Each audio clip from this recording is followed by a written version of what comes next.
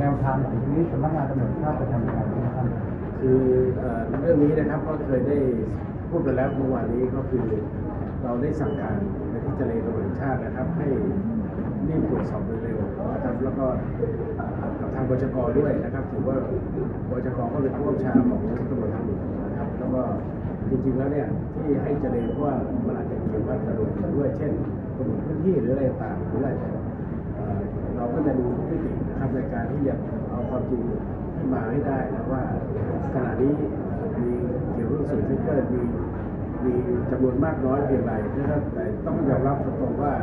เอ่อเบื้องต้นที่ตรวจสอบเบื้องต้นนะครับที่ตามข่าวมาก็ดีนะครับมีส่วนที่เกิดจริงนะครับแต่ว่า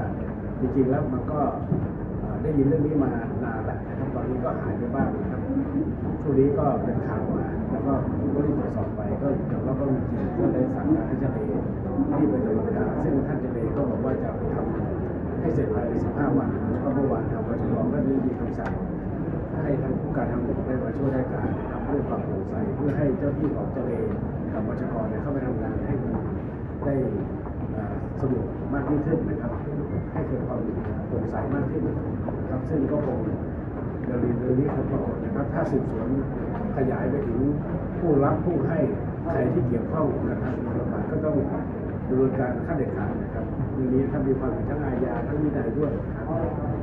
การที่มันมีสวยจริงเนะฮะตรงนี้ใครเป็นคนจ่ายสวยและใครเป็นผู้รับสวยนะครับคือเรื่องนี้ก็เดี๋ยวขอผลการคือถ้ามีสวยก็คือผู้ที่จ่ายก็คือคนขนส่งนะครับ ผู้รับอาจจะเป็นเจ้าหน้าที่ของรัฐนะครับ หรืออาจจะเป็นตัวกลางอะไรต่างๆเพราะเราก็ต้องมาเอารายละเอียดมาแล้วก็มาสรุปผลการดำเนินการอีกทีนะครับ ซึ่งท่านผู้จัดการสมุทรการท่านก็ได้ส่งท่านผู้การปปปนะครับ ซึ่งท่านก็มีชื่อเสียงในการไปจับกลุ่มทุจริตหลายหน่วยงานอยู่แล้วนะครับให้เราเป็นผู้การรักษาการผู้การทางหลวงเพื่อให้เกิดความโปร่งใสแล้วก็ให้เกิดความมั่นใจในการทำงานนะครับก็ขอยืนยันว่า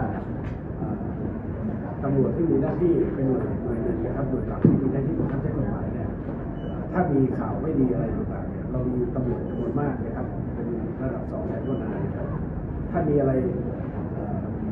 ผิดหรืออะไรเราก็ว่าไปตามผิดทีนี้เราก็ได้มีการปลดออกได้ออกมาตั้ง79นายนะครับเอ่อนะครับเราก็มีการดำเนินการอย่างต่อเนื่องซึ่งเรื่องการสั่งการให้ตรวจขันเรื่องรถบรรทุกผิดกฎหมายเนี่ยเราก็ได้เคยตอรอได้เคยสั่งการไปแล้วนะครับ แต่ว่าเมื่อเป็นข่าวมาอย่างนี้นะครับ เพื่อให้เกิดความชัดเจนมากขึ้นผมก็จะ ได้มีคำสั่งนะครับซึ่งมีสั่งทางวาจาไปแล้ววันนี้ก็จะลงนามครับสั่งการให้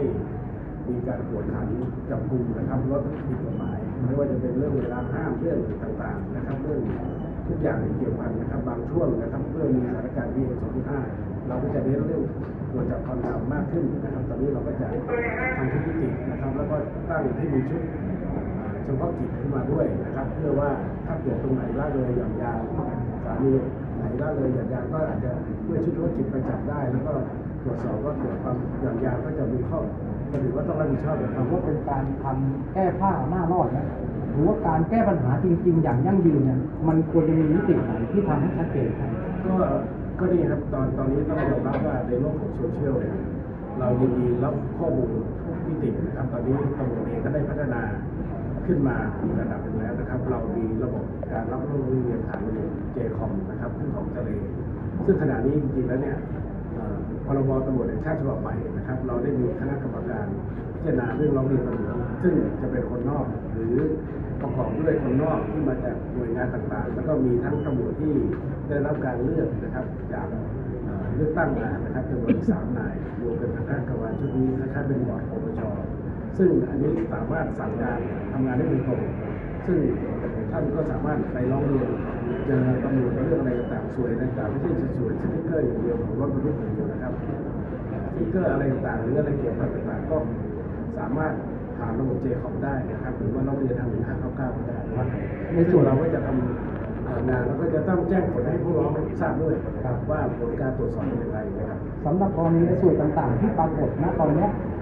มีหลายรูปแบบ ตรงนี้เราได้สั่งการอะไรเป็นพิเศษไหมท่านก็สั่งการไปแล้วนะครับว่าอะไรต่างๆที่มีเรื่องร้องเรียนมาก็ต้องมีผล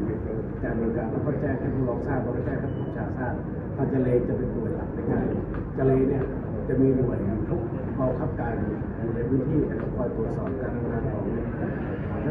ชั้นหนึ่งแล้วถ้าไอ้ส่วยไอ้สติ๊กเกอร์ที่มันเป็นเรื่องเก่าแล้วเอามาโพสต์ใหม่เนี่ยลักษณะนี้เหมือนเป็นการจ้องทำลายล้างตรงนี้ ตำรวจเองจะดำเนินการคดีกับไอ้บุคคลกลุ่มนี้ดูเจตนานะครับว่าจะทำให้เสียชื่อเสียงยังไงบ้างนะแต่ว่าเท่าที่ตรวจสอบเรื่องไอ้อะไรนะเรื่องรายงานมีรายงานเก่าตั้งแต่ปี59นะครับก็อยากให้เข้าใจการทำงานตำรวจนะครับว่าตำรวจเองก็ทำงานหนักก็ทำงานในทุกมิตินะครับ เมื่อก่อนที่จะมาต่อว่าอะไรก็ขอให้ตรวจสอบให้ดีก่อนนะครับไม่ใช่ว่าจะไอ้นี่มาโพสอะไรต่างๆอะไรก็ขอให้ช่วยกันดูนะครับ แต่เรายินดีนะครับว่าในโลกยุคใหม่เราต้องการความร่วมมือจากภาคประชาชนสามารถแจ้งข้อมูลเบาะแสมาได้นะครับทุกมิติใครจะไว้ใจใครก็ไปแจ้งโพสก็ได้นะครับโพสได้ยินดีตอนนี้เราก็มีเราพัฒนาสำนักงานเจริญให้มีมาตรฐานขึ้นแล้วก็มีคณะกรรมการจากคนภายนอกมาเป็นถือว่าเป็นหัวหน้าแล้วกันนะครับ สามารถเจริญก็เป็นแค่เลขานะครับในการทำงานนะครับตามพรบตำรวจแค่ ครับท่านคะที่ว่าจะตั้งชุดเฉพาะกิจนี่คือตั้งจากตำรวจที่ไหนคะก็ของคือของประชากรเดี๋ยวจะมีคำสั่งว่าขอให้ไปดูซ้อมดูนะครับใครปล่อยปละละเลย ก็ขอให้มีการจับกุมนะครับและคือผมว่าเห็นข่าวแล้วก็รู้เป็นต่อไปก็ไม่อยากให้มีคำว่าสวยสติ๊กเกอร์อีกแล้วนะครับอยากจะเอาให้มันหมดไปให้ได้นะครับหมายถึงว่าในในยุคท่านนี้นะคในรับยุคท่านเนี่ยจะประกาศเลยใช่ไหมว่าต่อก็ไปทำเอ่อก็ทำเต็มที่นะครับก็สั่งการทุกหน่วยว่า ถ้าหน่วยไหนหรือว่ายังหน่วยไหนมีก็ขอให้รีบแจ้งเบาะแสมาจะได้รีบไปดำเนินการนะครับทั้งสวยสติ๊กเกอร์ต่างๆนะครับหรือว่าอะไรต่างก็จะไม่ให้มีแล้วนะครับเพราะว่าเมื่อเป็นข่าวเมื่อเป็นการที่ผ่านมามันอาจจะมีการลักลอบต่างๆอะไรเงี้ยเราก็ไม่สามารถไปรู้ได้ทุกจุดนะครับแต่ว่าเมื่อจุดไหนยังมีปัญหาอยู่ก็รีบแจ้งมาเราก็จะรีบดำเนินการนะครับแต่ชุดชุดนี้จะไปหาข่าวเองนะครับในการทำงานเองเช่นอาจจะไปดูสังเกตดูตรงไหนมีรถ